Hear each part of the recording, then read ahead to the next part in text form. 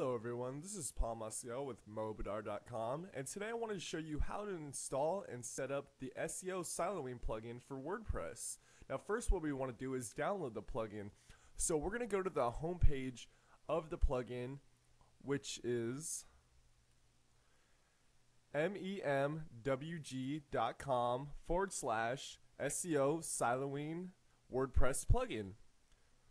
Okay, once we've reached this page, we want to download the plugin. So if you go to installation in the middle of the post, right here as you can see on my screen, you see a little link for SEO Siloing 1.2 zip. So we want to click on this this little uh, link right here. Okay, as you can see, this little dialog box popped up. So now we want to go ahead and save this file. So as you can see, it's the SEO Siloing plugin want to click on save right here and press OK. Okay, now that our plugin has successfully downloaded, we can see it's in our download folder. So now we want to go ahead and open up our download folder, extract this plugin, and then upload it to our WordPress installation. So now I'm going to go to the start menu and I'm going to go over to my documents. I'm going to go into downloads. So as you can see here is my SEO Siloing plugin folder. What I want to do now is I want to extract this uh, the zip file into a, another file so we can upload it. So I'm going to right click, I'm going to extract it into a file. So here's my extracted file. Now I want to open this up and you can see the SEO Siloing script and the README file, which has a little bit of details on how to set up the plugin and just general information.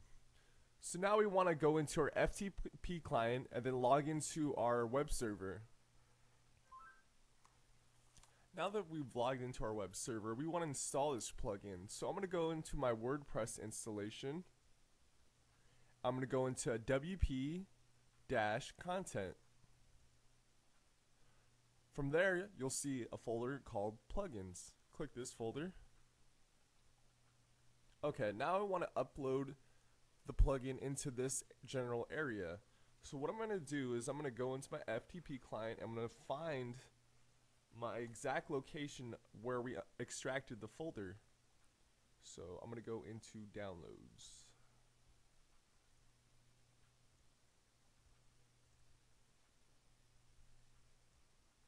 Go to my documents.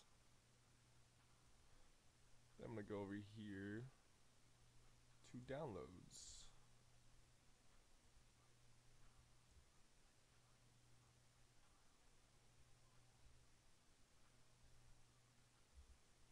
Okay, here's my SEO siloing plugin. So right now I'm to right click and I'm to upload this file into the plugins folder within my WordPress installation.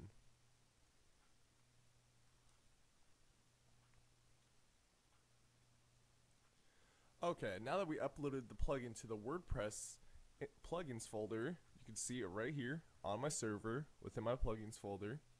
I'm going to log into my WordPress dashboard.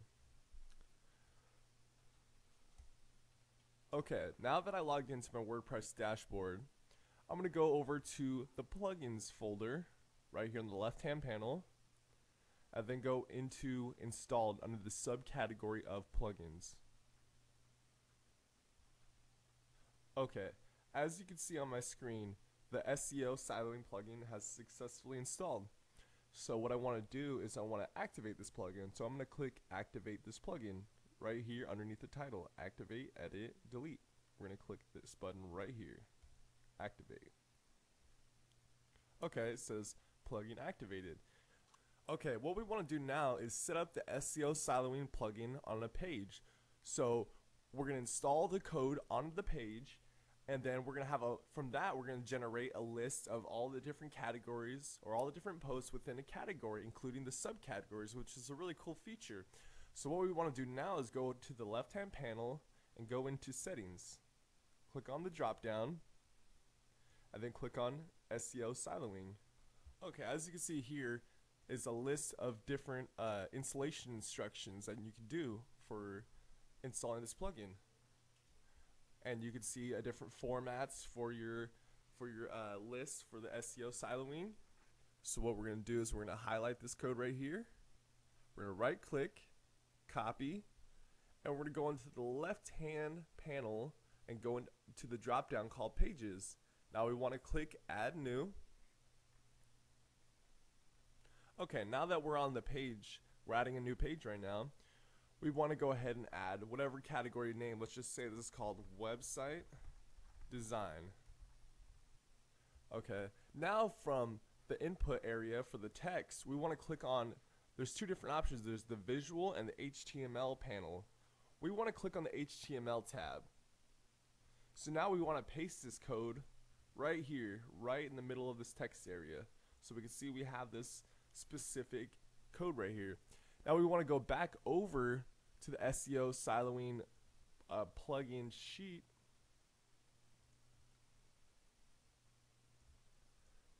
And as you can see right here, it says to use this code to uh, specify specific category slug or category name.